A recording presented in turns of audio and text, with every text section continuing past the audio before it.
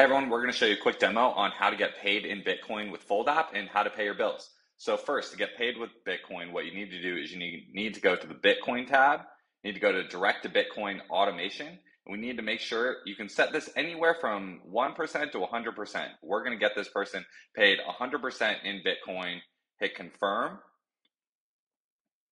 and boom, now all inbound direct deposits will 100% be sent to Bitcoin. Now what you need to do is you need to find your account routing number. So here on the home screen, see in the cash uh, section where it says account and routing, click on that.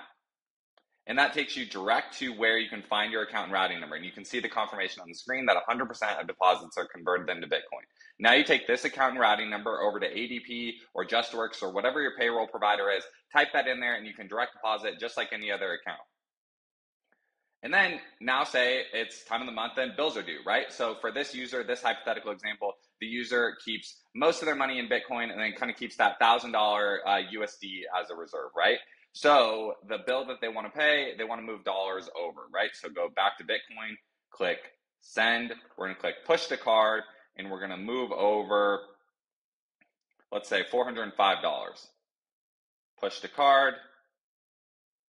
Sweet boom, you can see it deducted from the Bitcoin side, adds to the cash side, and now same thing as before. You go to wherever the bill is due. So wherever the credit card bill is due, wherever the car payment is due, click on account and routing number. This is what you use to set up a Fold as an external account over there, and then you're able to use it to pay the bill. And remember to spin the daily wheel.